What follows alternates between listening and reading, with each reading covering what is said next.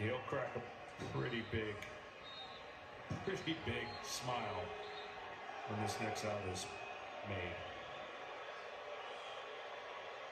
Here it is, a strike to Yuli Gurriel.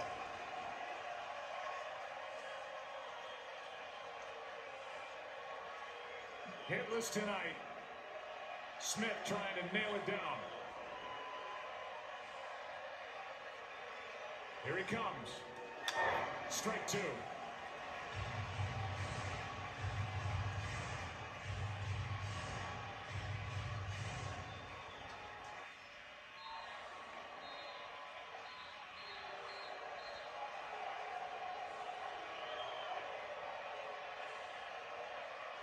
Smith.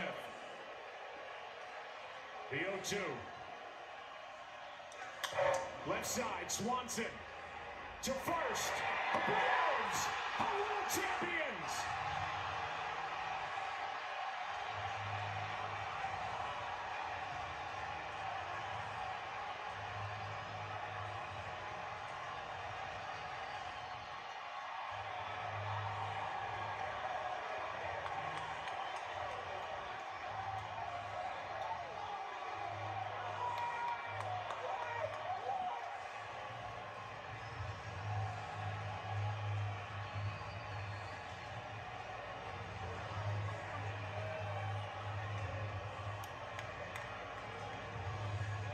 At 10:23 Central Time, Tuesday, November 2nd, 2021.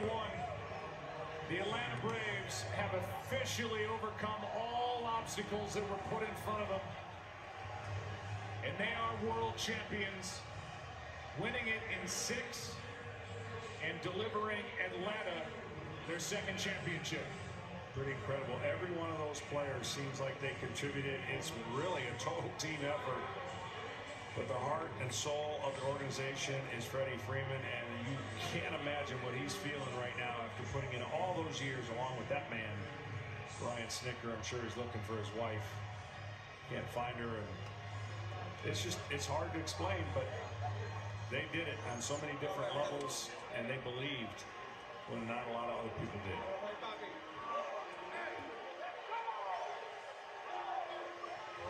Max Fried gets the win. He went six strong. No runs, four hits. Then Matzek and Smith able to finish it out. What a quick, fun ride for Jorge Soler. Started the year in Kansas City, ends the year in Atlanta, and ends the year as potentially the MVP of the World Series. Yeah, and Duvall, he went from last place to first place, and now world champion.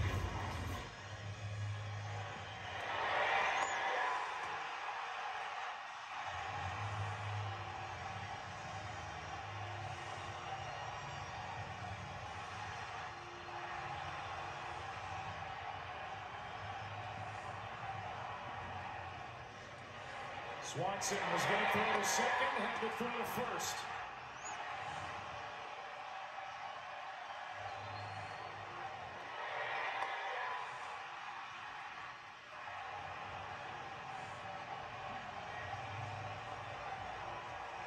A franchise that won it in 1914 in Boston, 1957 in Milwaukee, has now won it in Atlanta in 1995 and 2021. Let's go down to Ken Rosenthal. Thanks, Joe. Freddie, you've been in this organization since 2007. You went through some lean years, some crazy times this year, and now you are a World Series champion. What does this moment mean to you? I don't know, Ken. I, lost for words. This is, this is it. This is everything you worked for. I mean, we're in November right now, and we've been doing this since February, and we've had so many ups and downs this year. And for us to be world champions, Ken, that is awesome to hear. Now, Freddie, your home run in the seventh made it 7 nothing. Rounding third base, you showed more emotion than Yeah. most of us have ever seen from you. What was going through your mind? Uh, not much. Um, I usually try and stay the same throughout the game. That's kind of just my MO. Everybody knows that. But uh, I think a home run in a World Series is pretty cool. So Uh, I saw my teammates outside that. I saw my family just jumping up and down. So some emotion came out in that moment. Your manager, Brian Snitker, Yeah. you've known him forever. He's been in the organization 45 years. Yeah. How badly did you guys want this for him? uh, badly. Um, Brian Snitker is an amazing human being, and it's absolutely amazing that we get to call him a world champion now for everything he's done for this organization, for all the people he coached in the minor leagues to build up in this organization. And now he's a world champion, manager of the year, everything. He has every single award that you can get as a manager, and that is just the coolest thing ever. Freddie, congratulations. Thank Enjoy you. it. I- Now over to Tom Verducci. I'm ready. I'm ready. Thanks, Ken. Dansby Swanson, local boy makes good. You grew up close to the Atlanta Braves home park. You were one years old when Atlanta won the last time in 95. So for you, can you put into words what this championship means for you? I, I said, I've said it before, and I'll keep saying it like I'm an Atlanta lifer. I, I, I live and, and, and die the city of Atlanta, and there's no place that deserves it more than, than the city of Atlanta. I mean, being raised there, growing up there, having roots there, family. I mean, I got my family here, my best friends are here. Uh, love my life. Mallory is here. Oh, it's just you can't even put into words just how much this means not for not for me, but for this entire organization, the entire city. And I mean, uh, you see the you see the fan base. I mean, they're here. Uh, It's wow. I'm just rambling now. And, and Dansby, a home run, and then the last ground ball hit for the World Series went up in your glove. uh, destiny, I guess. Uh, the good Lord, I mean, he, he's blessed me so much. Uh, wouldn't be here without him. Um, just, just the, the, the peace that he gives me is just, it's remarkable. Uh, and, and especially in, in moments like this, you know, you, you can never go wrong trusting in that. And uh, like I said, I'm just so thankful to be here. Truly. Dansby, this team was not over 500 until August 6th. When did you believe that this night was possible? Well, I, all year, I mean, we really did. Uh, There were times where it, it, it seemed bleak, and there were times where you couldn't see the light at the end of the tunnel. But we knew that if we kept working, and if we were able to, you know, kind of put together a team, which we did after some of the injuries, that this would be possible. And it wouldn't happen without the leadership on this team. It wouldn't happen without the, the coaching staff, uh, the analytics department, front office, you name it. It wouldn't happen without them. Um, and man, we, we, we really did it. Like we, it's the toughest team I've ever been a part of. Amazing run. Congratulations. Enjoy it. Over to Ken Rosenthal. Thanks, Tom. Max, you just told me you were beat, you were exhausted. How did you get through it? Uh, you just got to dig deep. I got a lot of really great guys that threw their support behind me the last couple of days, sending me texts and just telling me how much they believed in me. And I knew that I just had to go out there and give it one more outing. And, uh, you know, I, I couldn't be happier to do it, with this group of guys. That play in the first inning when Brantley stepped on your ankle. After that, they had two on, none out. What happened at that point? Did something click in for you?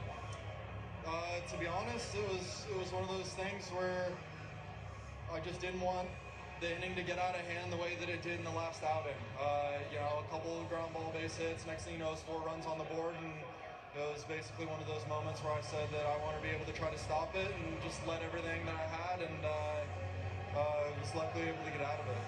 Now, growing up, I imagine you dreamed about pitching a World Series clincher. Was the experience everything you thought it would be?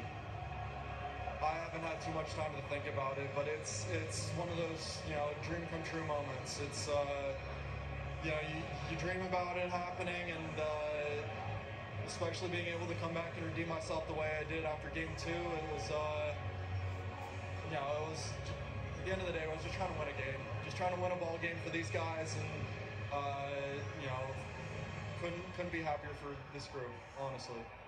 Max, thanks very much. Congratulations. Thank you so much. Joe, back to you. He's 27 years old from Southern California, lives in Nevada, and just electrified an entire fan base with what he did here tonight. Six shutout innings, six strikeouts, no walks, four hits. He gets the win in the clincher, game six of the World Series. We're just scratching the surface of this post-game celebration for the Atlanta Braves. We'll come back and have the ceremony on the other side.